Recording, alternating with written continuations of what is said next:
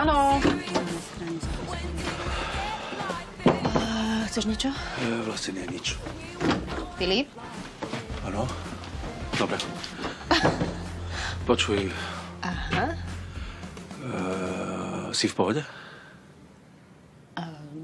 Áno, som. No, dobre, prejdi k veci. Hm? OK.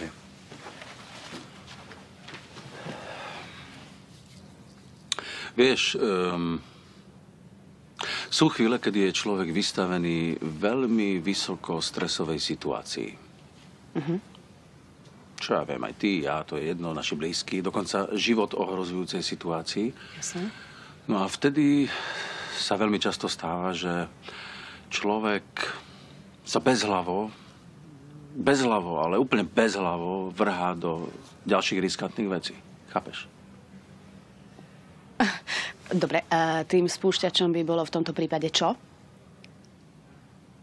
Dobre, tak ja ti to poviem. Ďakujem ti. Ide o to, že nie je to príliš skoro? Čo? No, že sa dávate s Adamom dokopy. A my sme sa ešte nedali dokopy, my sa len e, k sebe blížime. Počkaj.